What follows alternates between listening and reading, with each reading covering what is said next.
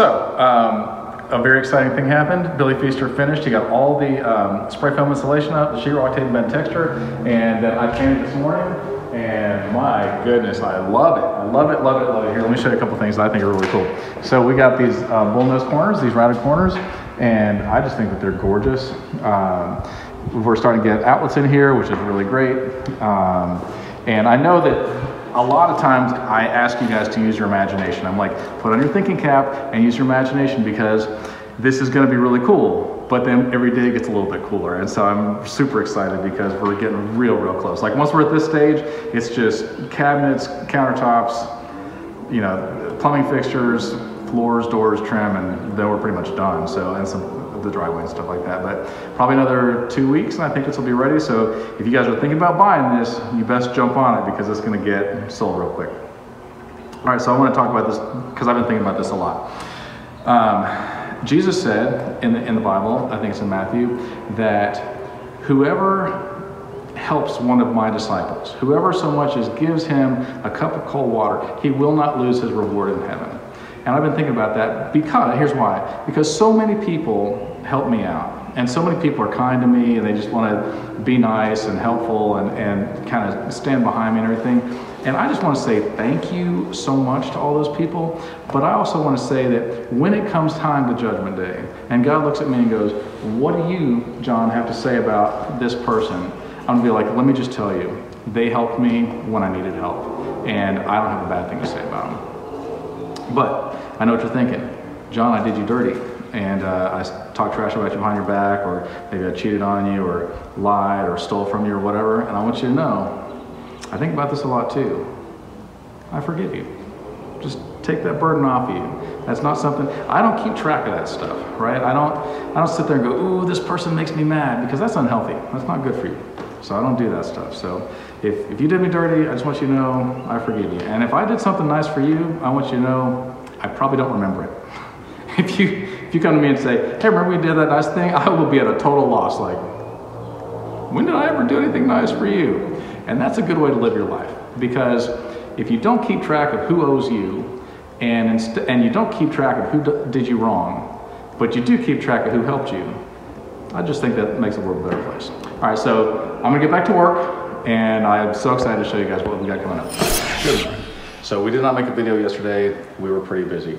Um, we did quite a bit of stuff and I'm not gonna bore you with all details because you guys got better things to do. But it dawned on me, probably a lot of you guys are not ever gonna put in all new cabinets in your kitchen yourself.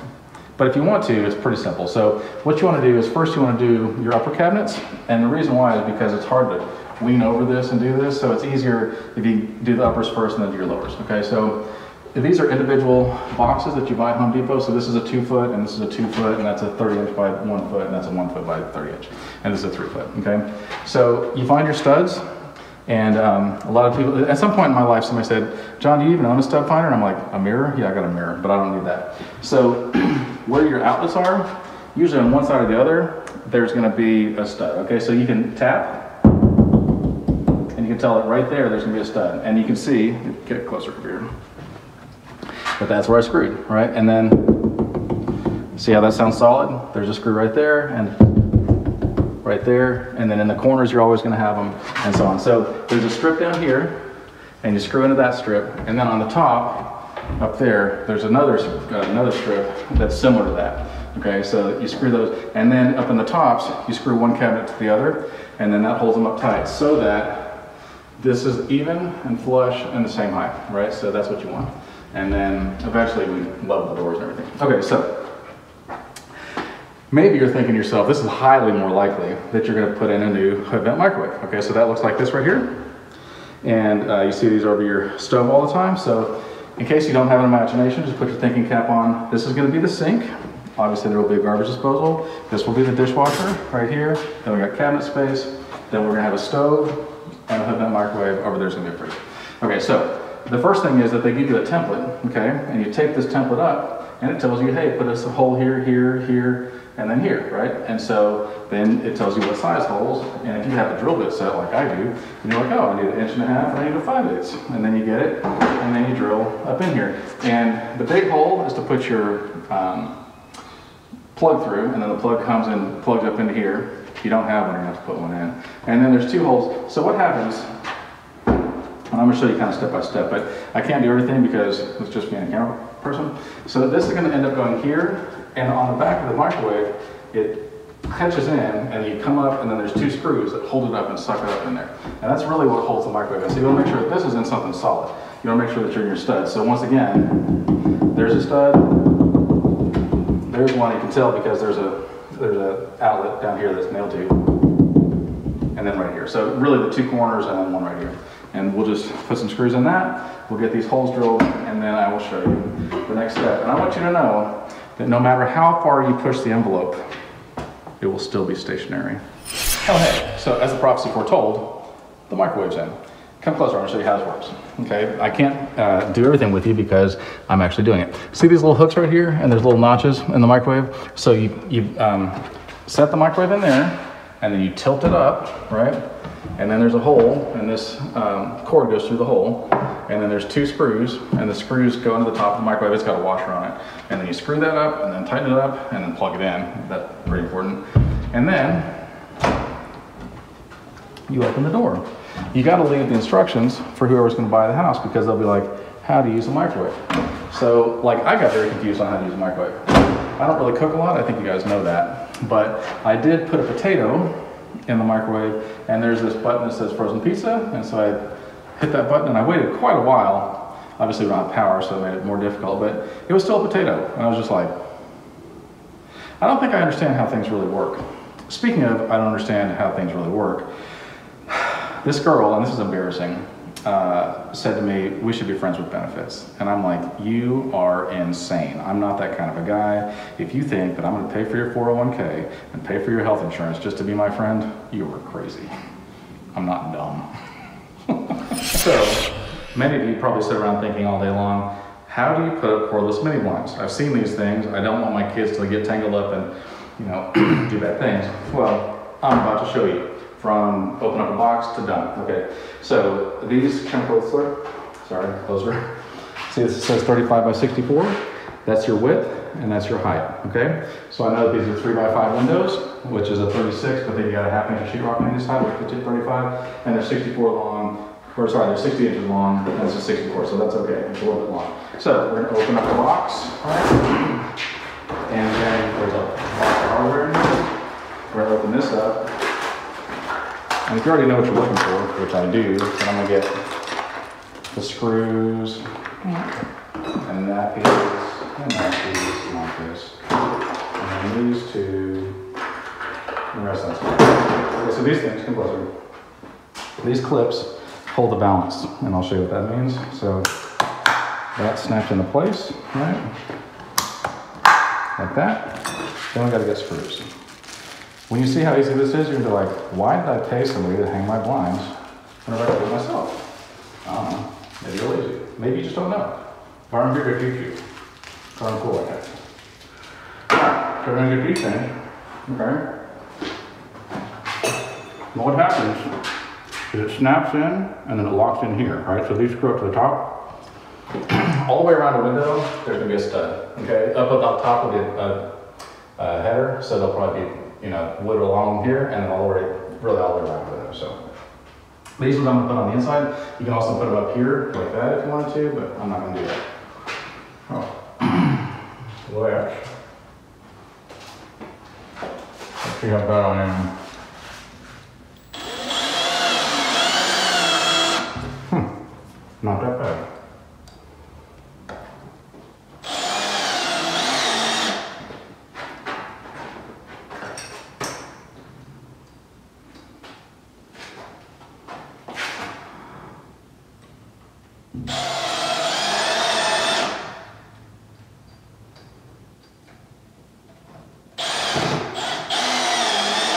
Now it does most of the hard work. Now comes the easy part. Okay, so you get this thing, and it kind of sits on this back lip. You'll see it like this. And it snaps into place, snaps into place. And they're cordless, so you just pull down.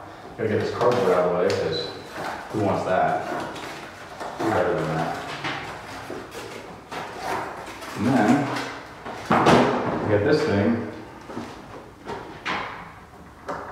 snap it in. This will turn your whatever. And this is your balance piece, and it's got a little piece that locks in here to these balance clips, right? So it's so easy, even a caveman can do it.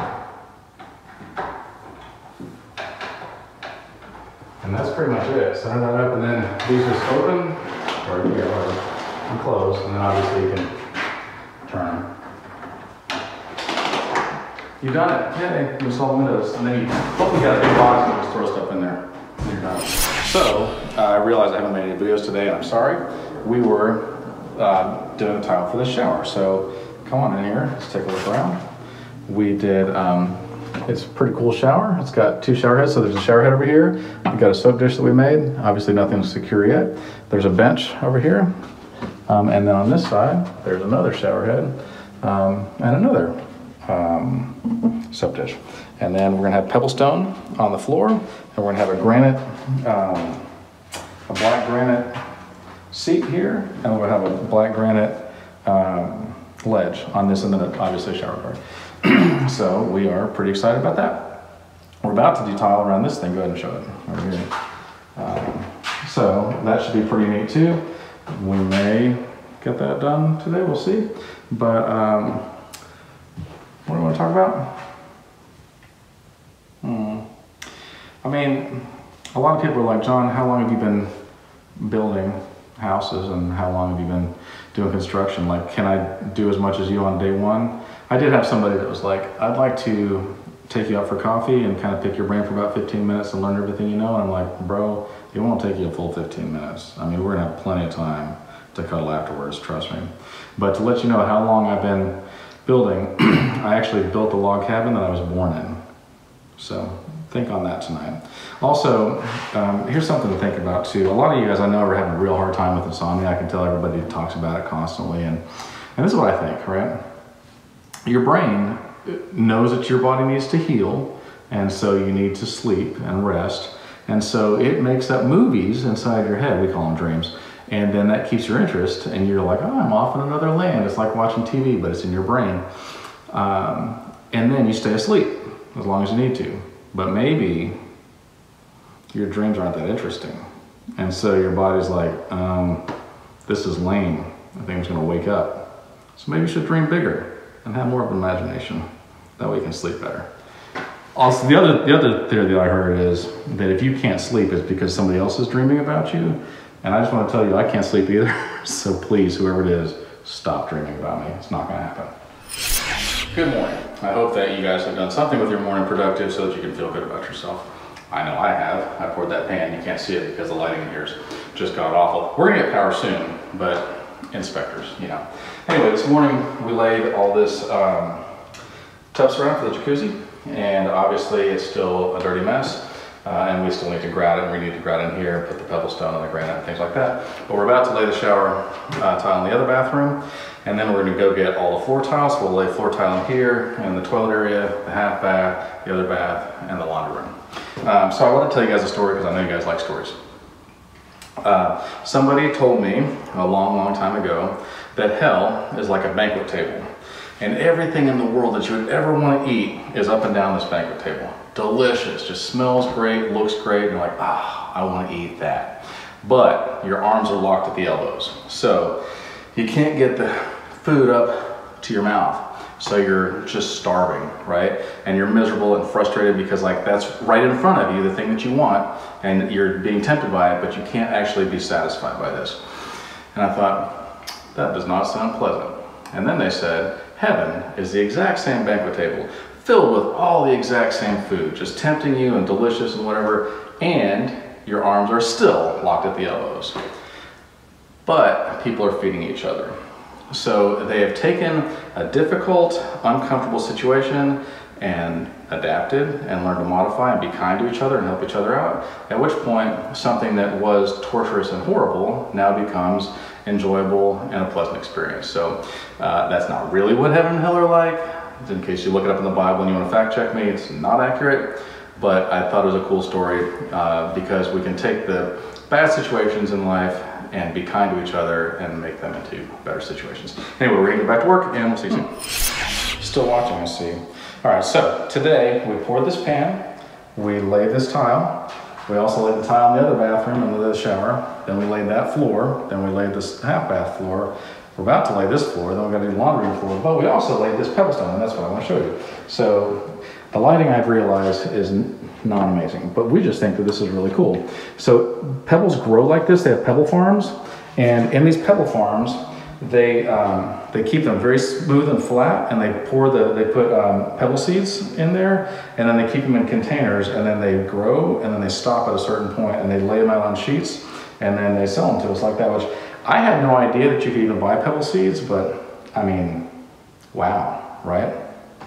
So also, uh, I realize I can't say this out loud because the last time I did, I got shut down from Facebook and YouTube. But I just want to say that there's something that happened on Wednesday that allows facial nudity, and I'm really into that. Also, uh, when the quarantine hit, I bought literally all the toilet paper, probably six or seven truckloads, like 18 wheelers, filled with toilet paper just for myself. Um, and now I'm wondering, like, if you freeze it, how long is that toilet paper good for? Because that's not my area of expertise. My area of expertise is panic. Hmm. You guys again, huh? Well, I'm happy to see you. All right, so what did we do today? We did some grouting. We did some laminate. Um, let me show you around. Lighting is really bad right now. We don't have power yet. I apologize, but let me just show you, and hopefully you can see. So we did all this laminate here, which is really, I think, beautiful. And then we grouted all this tile, this still film on it, whatever. And you know, you're not gonna be able to see any of this stuff. So let's just, uh, moving, moving on. Uh, but we also did this laminate here and most of this in the kitchen. But then people came by and wanted to talk. And I gotta tell you, I love talking to people. I really do. I think it's wonderful. And you know what? I like to hear people's stories. Um, and I'd like to hear you guys' stories. Because I'm sure that right now you're probably like, ooh, I'm mad about whatever, fill in the blank. And you're just thinking, I just wish that I had something to make me feel happy. Well, I'm here for you. Okay, so my challenge to you is think about somebody who has helped you and didn't ask for anything in return. They were just like swooped right in, right in the nick of time, and helped you with something and brightened your day. It can't be me because obviously I don't help people, I'm not into that sort of thing. But I would love it if you shared it. You can get a video, like do a video, or you can just run it out there, or whatever you guys want to do. I want to tell you one. I have thousands and thousands and thousands of stories of where people help me out. I'm just like, I'm so grateful for you as a friend and as a person. Um, but so let me think. In 1990, was that 31 years ago? I guess I was like 17, and I was building a log cabin up in Washington State, and um, I didn't know what, what I was doing but you know, whatever. And I'd save five thousand dollars working, making five dollars an hour at Applebee's as a dishwasher.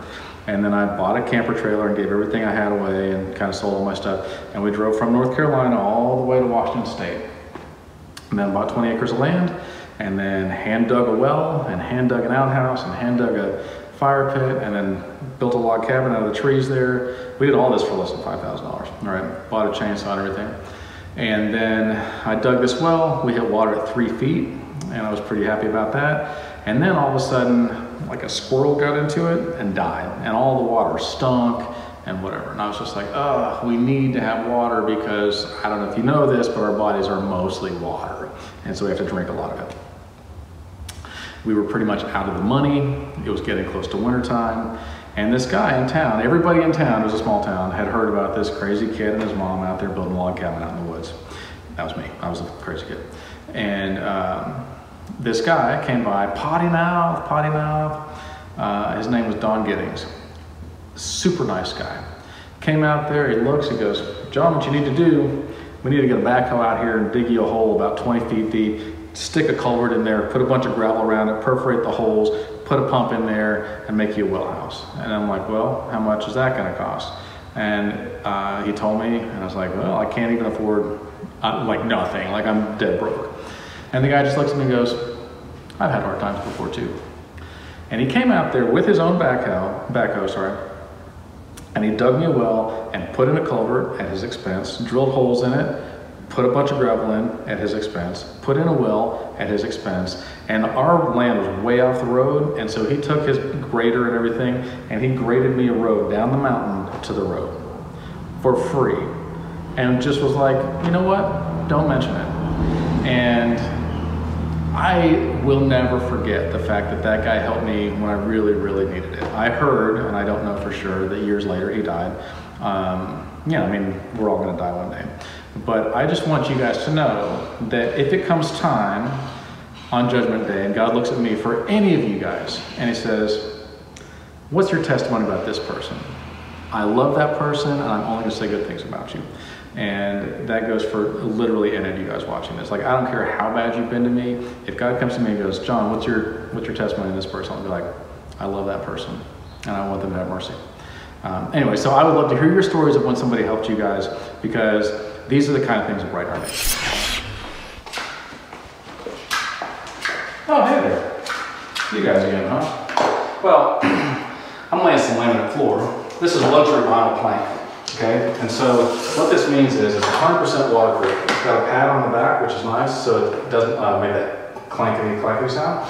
Um, I want to show you guys how easy this is to install. Okay, so you notice that there's a there's a tongue side and there's a groove side. Okay, so one goes into the other. I'll show you.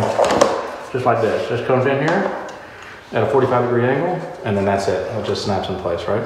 So to measure this, you can do it the hard way, or you can do it like this. Just come in here, be like, I want to measure that, right? I put something underneath it so I don't get scratch marks all over the place. Get a square, score it, and that's that, which is pretty cool. So then make sure that you're over here on this side, snapped in, you got a rubber mallet, right? And there's also, ah, whatever.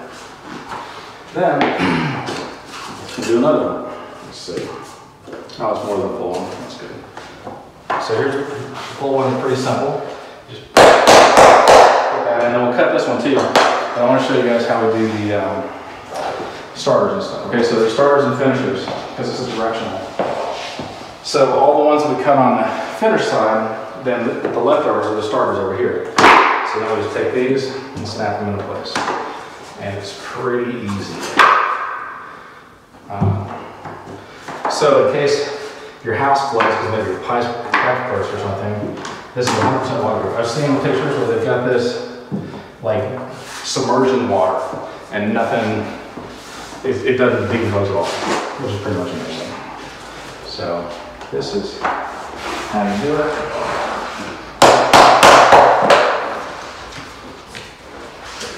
And it goes pretty quick.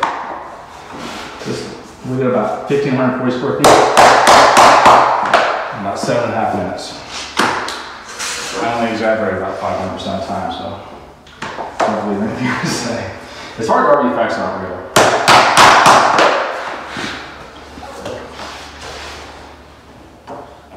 Goes on until you get to the end. But that's how you do it. That's how you lay on the floor. Uh, what do you want to talk about? You got anything? Nothing? Okay. Well, I want to talk about hmm, the fact that I tried to go to the library, but they were booked. Um, so we got all the laminate laid today, the luxury vinyl plank. This is part of the closet. There's the his and her closet. This is another part of the closet. Um, here, let's look. That's the tile, and there's more tile and we did the other day. Here's more tile. This is all the master bathroom. Then we did all this master bedroom um, laminate. All living room. We did tile in the half bath. We got these cabinets in. Uh, we got tile in the laundry room. We got all this dining room, office area, whatever. We got all this bedroom, bathroom, bedroom, bedroom, and then the um, closets, obviously. So we're very happy about that. Now, I want you guys to think, you might be sitting there thinking yourself, so I am depressed and I'm sad because I don't have everything that I want. Maybe you didn't get a pony, or maybe you feel like other people have more than you. And I just want to tell you that um, other people are happy with less than what you have. So I hope that encourages you to be happy with what you have. Also, uh, a lot of times our salvation comes through our suffering. And people don't really talk about this because nobody wants to hear about suffering and uh, whatever. But if you're being honest with yourself and you look back at your life, you'd probably be like, these were really hard times. But had that hard time not happened to you, it wouldn't have led you to the place where you became better. And a lot of times we don't change until the pain is great enough. And so those hard times were there to make you better, not bitter. So don't be sad about that. I hope you guys are having a wonderful Monday. I'm going to uh, get done ridiculously early today because I have um, something I need to do. So tomorrow we're to put doors in, put trim in, and it will make a tremendous difference. Right now it looks very raw still, but you will notice that once we get doors and trim, and then caulk and paint all this stuff, you'll be like, that is amazing. And then we should get granite here on the counters uh, in the next couple of days. He had to install for some reason, but it's gonna be beautiful. It's gonna be absolute black um, granite, and then we're gonna have undermount sinks and everything. So, good morning. So, um, I have not talked to you guys all week because I had an abscessed tooth and I had to go to the um, dentist, and then he drilled in my face and then took it out. It was, it was a horror story.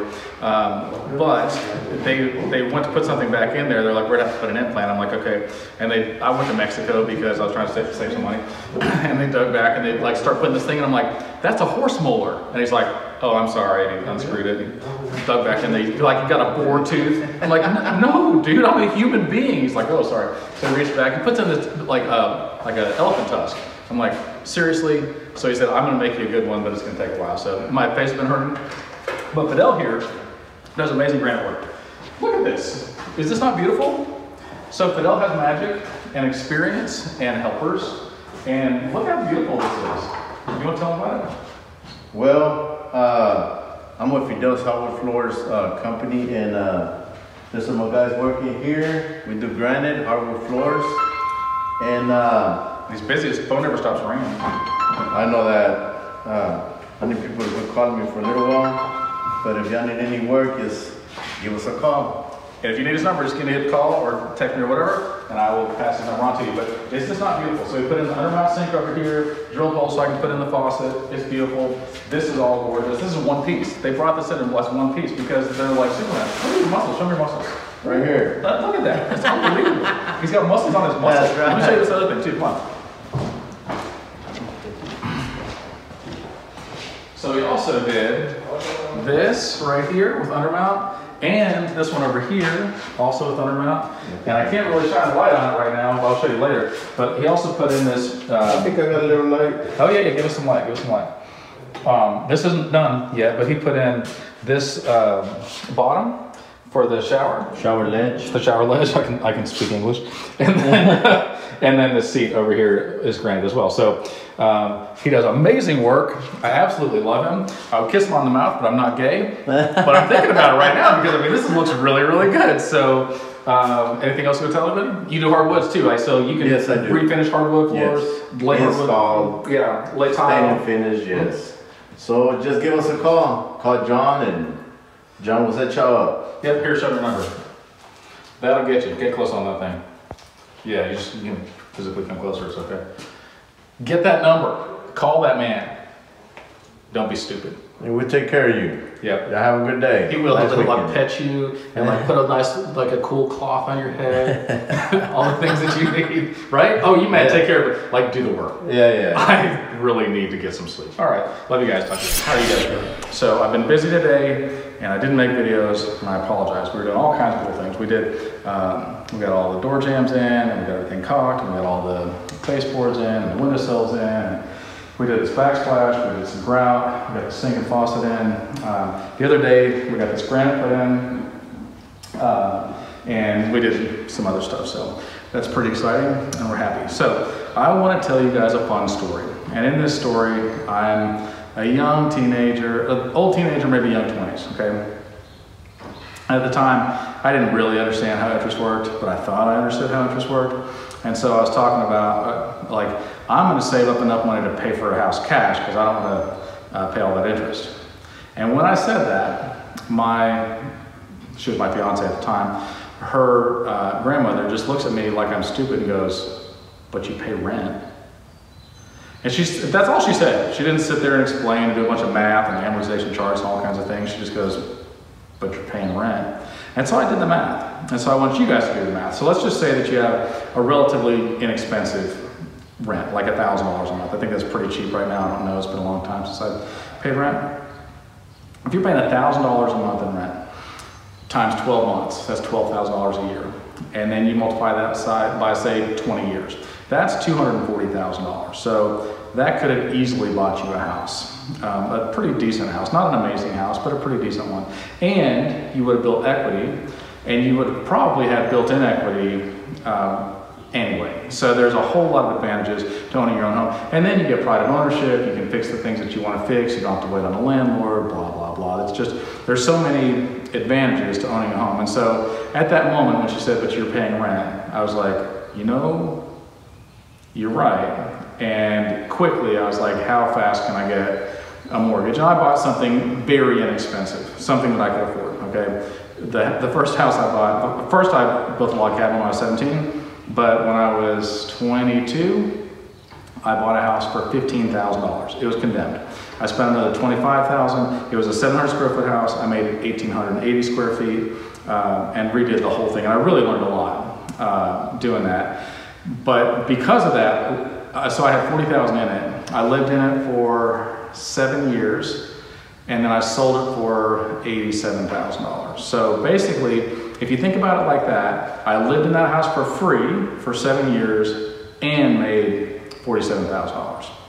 It's really like the smart thing to do because once you pay rent, it's just, it's gone. That's not going to happen again. You're never going to see that money again. But if you're putting it into a mortgage, then you will see that money again. And, and chances are home prices are going to continue to rise steadily. And so it's just a, it's just a smart thing to do. Now here's another thing. Let's say you're already a homeowner. Um, if you make one extra payment a year, and it depends on your interest rate, but if you make one extra payment a year, whatever your payment is, let's say it's $1,000, and you pay an extra $1,000 a year, you will knock 15 years off of your mortgage. If you pay bi-weekly instead of monthly, so if you're $1,000 a month, but instead you pay $500 every two weeks, you will knock 15 years off of your mortgage. It's a pretty big deal.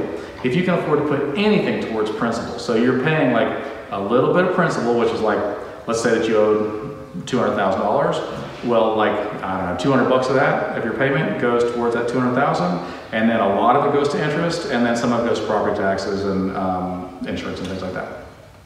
So you're only paying a little bit, but anything that you pay on top of that makes a big difference. And so if you could afford to pay another $50 or $100 or whatever you can afford to pay every month, you will exponentially knock down your mortgage to the point where you actually own your house pretty quick. And I've owned, I think, 67 houses now. I flip houses too. But, uh, and I grew up poor. The longest it's taken me to pay off a house is three and a half years.